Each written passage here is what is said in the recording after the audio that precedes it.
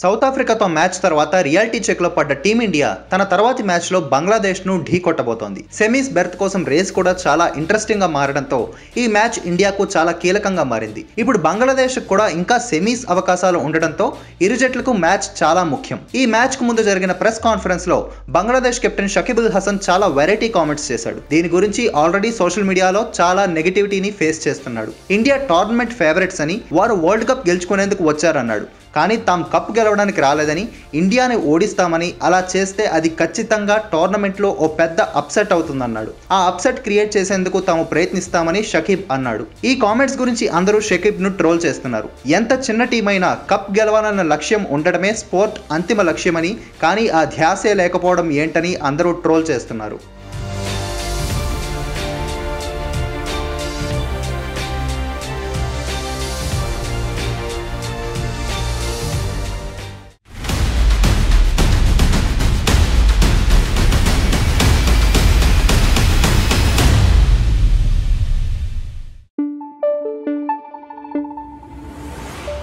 Thank you.